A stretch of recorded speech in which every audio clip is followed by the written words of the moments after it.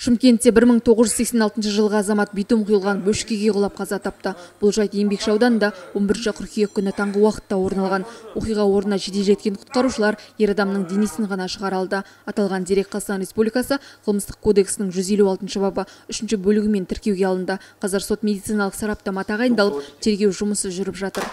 112 қызметінен хабарлама түсті клара сеткина көшесі то олакс мекемесінде ер кісінің темір бөшкеге құлап кеткені жайында.